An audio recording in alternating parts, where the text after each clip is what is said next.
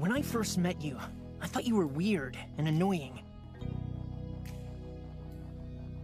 And? And you are.